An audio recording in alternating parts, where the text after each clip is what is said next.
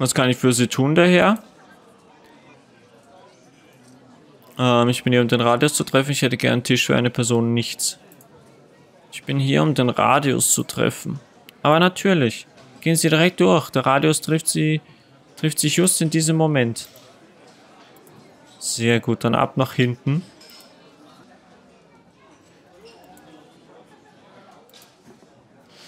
Ab nach hinten zum Kreis.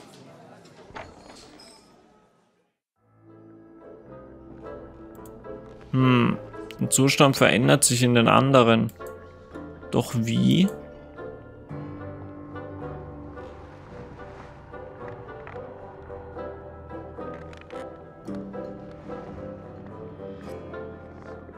Was haben wir hier? Ein Gast? Entschuldigen Sie, meine Herren. Ich hoffe, dass Ihr Geschriebene ist hinreichende Qualifikation für Ihre Runde. Ah, Sie sind also der geheime Problemlöser. Der Oberkenner hat was von einem Gast erzählt. Es ist bemerkenswert. Gernot Zahler, zu Diensten. Und Sie sind? Ich heiße Emil Schell. Von der Friedrich-Wilhelms-Universität Berlin. Ich dachte, ich kenne die meisten Kollegen aus Berlin. Wie heißen Sie willkommen im Radius, wo Sie ohne Zweifel hingehören? Mathematiker. Guten Tag, Shell mein Name. Und Sie sind? Grüße, Herr Schell. Stefan Nenner. Sie kommen von der Universität Berlin? So ist es. Sind Sie dort auch Vortragender?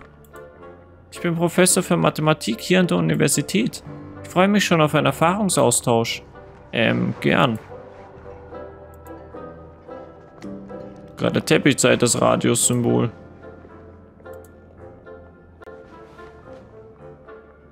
Schnach. Oh. Sie streiten. Ich will sie nicht stören. Sie streiten, ich will sie nicht stören. Erlauben Sie mir, mich vorzustellen? Emil Schell. Rauch. Schön, Sie kennenzulernen, Herr Rauch. Bin auf der Suche nach Hilfe für meine neue Theorie. Was ist Ihr Spezialgebiet? Was ist Ihr Spezialgebiet? Komplexe Analysis. Zahlentheorie. Eine Prima-Kombination. Ihr Spezialgebiet. Prim A. Nein. Okay, dann quatschen wir mit dem Herrn Zahler. Ah, Shell. Was ist Ihr Spezialgebiet? Lernen Sie an der Universität. Ich würde gerne über meine Theorie sprechen. Was sagen Sie? Kennen Sie viele Vortragende der Universität Berlin? Sind Sie mit ihnen in Kontakt? Ähm, mit manchen. Ich bin immer so beschäftigt mit meiner Arbeit, dass... Kennen Sie einen Robert Koch? Ich frage nur, weil... Ach, unwichtig. Na, kennen Sie ihn? Tut mir leid, nein. Oh, schade. Robert Koch? Ich soll den Namen einmal nachschlagen, wenn ich die Zeit habe. Vielleicht wird es noch wichtig, um meine Liste aufrechtzuerhalten. Le wo? Ich habe selbst an der Berliner Universität studiert. Unter dem großartigen Karl Weierstraß höchstpersönlich. Ein hochbegabter Mann. Und ich natürlich sein bester Student. Da waren auch noch andere. Uff, diese Russin. Welche Russ? Sie durfte nicht einmal Gasthörerin sein. Ach, genug davon. Sie kennen Weierstraß bestimmt. Nennen Sie ihn noch nimmer Vater der modernen Analysis? Weierstraß? Ich sollte mehr über meine Kollegen in Berlin in Erfahrung bringen. Ja, aber... Sie sehen, ich bin äußerst vorsichtig bei der Wahl der Mitglieder des Radios. Ich würde gerne über meine Theorie sprechen. Ähm, Sie sind also Professor an der Universität Berlin? Nun, ich... Natürlich sind Sie das. Aber wohl neu dazugekommen. Also eigentlich... Oder eine Aushilfe. Herr Zahler! Hm? Was? Was ist los? Ich würde mich gerne mit Ihnen über meine Theorie unterhalten. Na gut. Lassen Sie hören. Funktion der Veränderung mit Bezug auf Zustände über Zeit. Ähm, interessant. Klingt wie die Theorie, an der ich arbeite. Wie dem auch sei, ich kann mich nicht mit den Ablenkungen beschäftigen. Ich muss mich um meine eigenen Theorien kümmern. Aber bitte fragen Sie die anderen Mitglieder. Die Herausforderung wird Ihnen gut tun. Fragen wir mal Nenner. Ja. Brauche Hilfe bei meiner Theorie. Was lehren Sie genau? Ich hätte eine Frage zu den anderen Mitgliedern. Was lehren Sie genau? Diskrete Mathematik. Ich habe vor ein paar Wochen eine kurze Einheit über ein hochinteressantes Phänomen, einen Prozess namens Markov-Kette gegeben. Ich versuche meine Studenten auf dem Laufenden zu halten, ihren Horizont zu erweitern. Was ist eine Markov? Was ist eine Markov-Kette? Gut, dass Sie fragen. Niemand hier scheint mehr daran interessiert, neue Theorien zu diskutieren. Markov selbst beschreibt die sogenannte Markov-Kette als Übergangsprozess von einem Zustand in den nächsten, wobei die Wahrscheinlichkeit des Zustandseintritts vom vorangegangenen Zustand abhängt. Hm. Stellen Sie sich einen Betrunkenen vor, der einer nummerierten Linie folgt. Mit jedem wackeligen Schritt bewegt er sich entweder eins nach vorn oder eins zurück. Also, der nächste Schritt oder Zustand hängt von seiner derzeitigen Position ab und nicht davon, wie oder wo er davor getorkelt war? Genau. Überaus interessant. Ich hätte da eine Frage zu den anderen Mitgliedern. Ich hätte da eine Frage zu den anderen Mitgliedern. Was wollen Sie denn wissen? Ähm... Wer ist der Schläfer da in der Ecke? Eilrich, der Doktor in unserem kleinen Kreis. Wieso schläft er? Erst war es kaum merkbar. Er nickte einfach einmal ein, ohne dass es jemand bemerkte. Mittlerweile scheint er sich hier so wohl zu fühlen, dass er hier jeden Nachmittag schläft. Er ist schon so lange hier, es kümmert uns schon gar nicht mehr. Die, die zwei Streithähne. Nikic und Wurm. Wie bitte? Das sind die beiden. Der linke lange, da ist Nikic, ein Gastprofessor aus Belgrad. Die scheinen sich nicht besonders zu mögen. Keine Sorge, die streiten nur viel. Worüber? Mathematik natürlich. Rauch scheint mir recht einsilbig. Ist er nicht immer. Er ist sogar äußerst brillant. Brillant, aber ein furchtbarer Lehrer. Aber das haben Sie nicht von mir. Wissen Sie was über Zahler? Was wollen Sie über ihn wissen? Ist er der Gründer des Radios? Ja. Er, Eirich und Rauch sind die Gründungsmitglieder. Wie kam es zur Gründung? Nun, soweit ich weiß, sucht der Zahler nach ebenbürtigen Geistern. Elite-Mathematiker, die Besten der Besten. Er wollte sich zu mathematischen Ideen und Themen austauschen. Die Idee kam ihm wohl, als er von den Gesellschaften in London hörte. Wien brauchte sowas natürlich auch. Der Kaiser fand daran Interesse und er begann den Radius zu finanzieren. Unter der Bedingung regelmäßigen mathematischen Fortschritts. Eirich, Rauch und andere waren schnell Mitglieder geworden und mit der Zeit kam Wurm, Nikic und schließlich ich dazu. Brauche Hilfe bei meiner Theorie. Woran arbeiten Sie? Funktion der Veränderung. Ich beschäftige mich mit in Veränderung befindlichen Zuständen in solchen Funktionen. Faszinierend, aber ich wäre ihm wohl kaum eine Hilfe. Mein Fokus liegt in der diskreten Mathematik. Nicht bewegliche Teile, konstante Systeme. Vielleicht kann Ihnen eines der anderen Mitglieder helfen. Aber diese Markov-Kette, von der Sie gerade erzählten, das ist doch genau das, ein Prozess der Veränderung. Bloß weil mein Fachbereich diskrete Mathematik ist, heißt das nicht, dass ich mich nicht an jeglichen mathematischen Gedanken versuche. Mit variablen Graden des Erfolgs. Hahaha. Bis später. Bis dann, Shell. So, dann quatschen wir mal Erich an. Oh. Das ergibt keinen Sinn. Streiten. Ich will sie nicht stören. Hm. Ich bin auf der Suche nach Hilfe für meine neue Theorie. Ah, warte, jetzt muss ich es nochmal vorlesen. Ich bin auf der Suche nach Hilfe für meine neue Theorie. Thema. Funktion der Veränderung in Bezug auf Zustände über Zeit.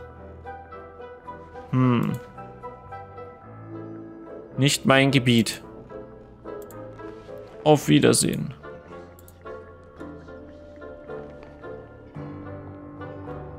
Ich habe Ihnen doch gesagt, dass ich keine Zeit für Ihre Ablenkungen habe. Vielleicht werdet ihr Ihren Theorien ja eines der anderen Mitglieder lauschen. Dreck. Oder wir gehen mal zur Tafel. Ha, ich habe was gefunden.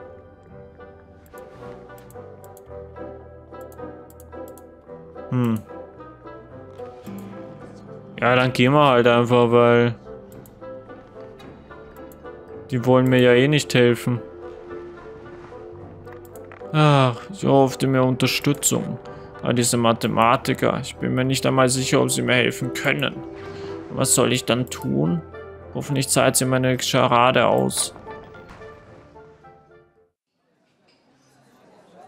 Na, schade.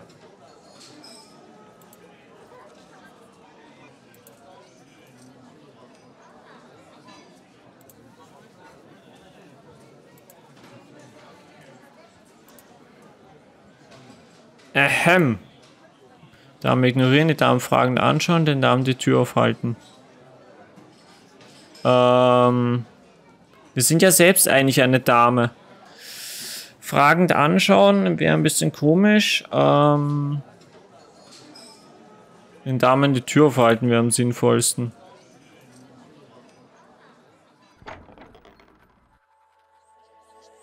Danke, dass Sie uns die Tür aufhalten. Ich nehme an, der Aufenthalt im Radius war genehm. Hätte ich mich nicht erinnert, wie man sich einst mir gegenüber verhielt, hätte ich es jetzt nicht imitieren können. Jede Veränderung passiert über Zeit. Ich verstehe leider nichts von Mathematik.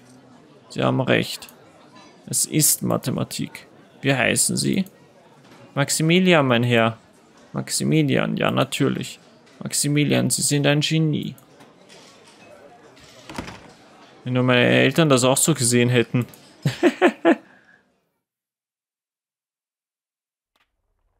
naja, er ist Oberkellner, also muss es zu irgendwas gebracht haben. Sonst wäre er kein Oberkellner. So ist das viel zu heiß hier. Schnell jetzt. Ich muss es aufschreiben.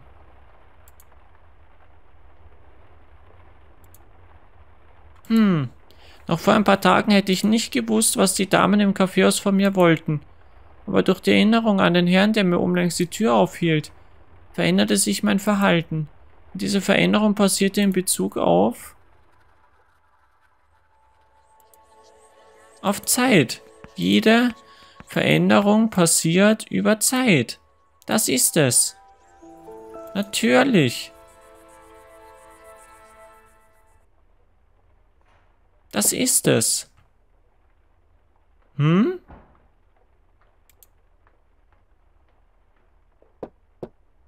Da klopft jemand. Ah, das ist Nicole. Muss mich erst umziehen. Das ist Nicole, das ist das Mädchen, da ich mich nicht umziehen. Immer werden.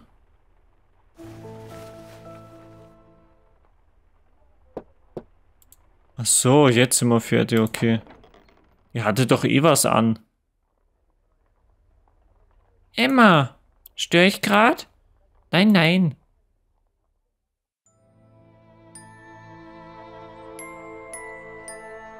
Heute schaust du viel glücklicher aus. Heute bin ich glücklicher, Nicole. Wie geht's dir? Wie immer. Mir geht's immer gleich. Sind deine Eltern wieder einmal heimgekommen?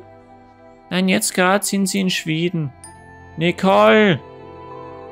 Zeit für deine Geschichtsstunde. Geschichte. Ich hasse Geschichte. Die ändert sich nie.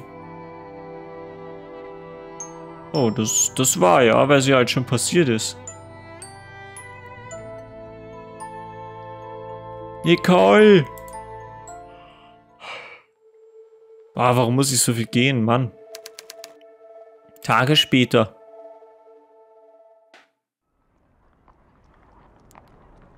Äh, wir sind wieder... Wir sind wieder eine Frau.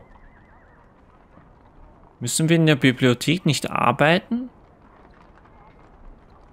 Stimmt, wir könnten in die Bibliothek Und wir schauen mal, dass wir äh, Infos zum, zu Koch und zu diesem Weiher irgendwas da finden. Ich meine, wenn da nichts in der Universität zu finden ist, dann äh, weiß ich auch nicht. Also gut, Emma, konzentrier dich. Jede Veränderung passiert über Zeit. Um also einen Zustand dieser Veränderung zu erhalten, muss ich wissen, wie sie sich verändert, muss ich sie verlangsamen. Oh Gott, ich bin in Mathematik so, ich bin generell mit diesem über Kram. Da habe ich ja gar keinen Plan. Um Veränderung über Zeit muss ich wissen, warum sie passiert. Nee, wie, wie sie... Muss ich wissen, wie sie sich verändert? Das kann ich doch gar nicht wissen. Muss ich sie verlangsamen? Klingt mir irgendwie plausibel. Hm. Wo und wie? Was entgeht mir? Versuch was anderes. Um einen Zustand einer Veränderung zu erhalten.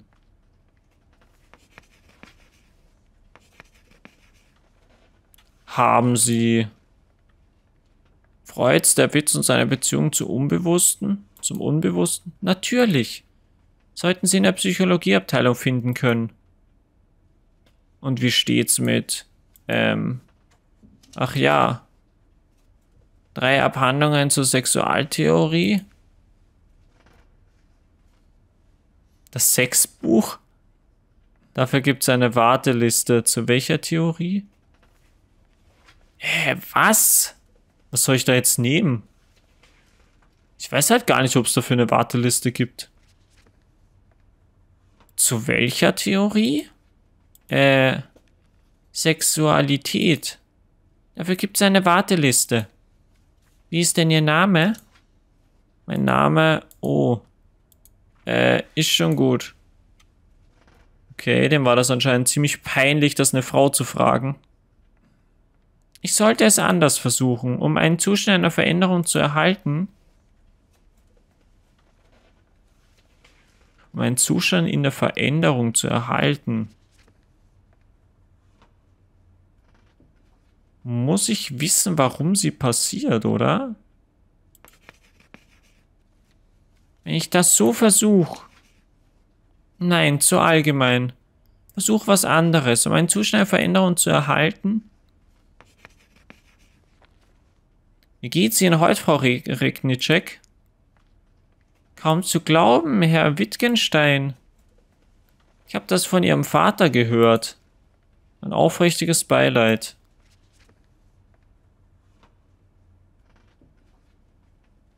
Sie sind zurück aus Manchester. Danke. Was kann ich für Sie tun? Äh, danke. Sie sind... Sie sind zurück aus Manchester? Nur für ein paar Tage. Ich wollte Russells Principia Mathematica und Fricks Grundgesetze der Arithmetik zurückbringen. Waren sie Ihnen hilfreich? Ich habe nur das von Frege, Frege gelesen. Erst habe ich mir gedacht, die zwei Bücher stehen im Konflikt zueinander. In England habe ich es immer und immer wieder gelesen. Ich hätte sie schon beinahe aufgegeben. Doch wie ich über einen Kanal fahre, und beide Bücher sein gelassen habe, habe ich angefangen, die Gemeinsamkeiten zu sehen. Wenn ich doch nur die richtigen Worte finden könnte, um Ihnen zu beschreiben, wie sich das angefühlt hat. Wenn Sie nicht wissen, wie Sie darüber sprechen sollen, ach schon gut, ich muss wieder an die Arbeit. Wenn Sie nicht wissen, wie Sie darüber sprechen sollen, sollten Sie es vielleicht gar nicht tun. Ha. Hm. Wovon man nicht sprechen kann, darüber muss man schweigen. Eine gute Philosophie, Frau Regnitschek. Auf Wiedersehen. Auf Wiederschauen, Herr Wittgenstein. Sein Denken hat sich durch seine Beobachtungen verändert. Erst war er zu nah dran, aber später